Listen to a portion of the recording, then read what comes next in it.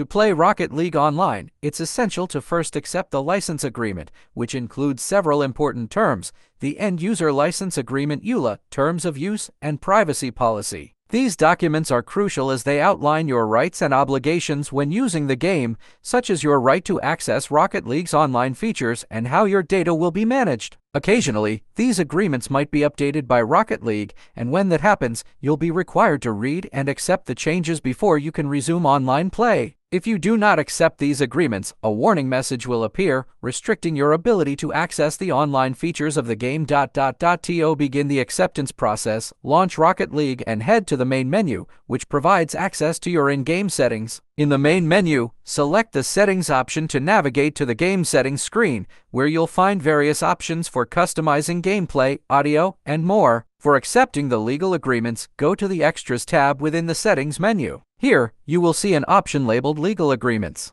This section contains each of the agreements you need to review and accept before you can proceed with online play. Start by selecting the End User License Agreement EULA. Uh, read through this agreement thoroughly as it includes the terms of service that explain the use of the game, limitations, and legal information. Once you've reviewed the terms, select OK to confirm that you accept the EULA. Uh. Next, move on to the Terms of Service. This document typically covers acceptable use policies, community standards, and other important terms that define how you can engage with Rocket League services and other players. Like before, review these terms, and after reading, select OK to agree to them. Finally, select the privacy policy. This document explains how your personal information is collected, stored, and used by Rocket League and its developers. If you're interested in understanding how your data is handled and shared, read this document carefully. Once you've reviewed the privacy policy, select OK to confirm that you understand and accept its terms. After you've read and accepted each of these three agreements EULA, Terms of Service, and Privacy Policy,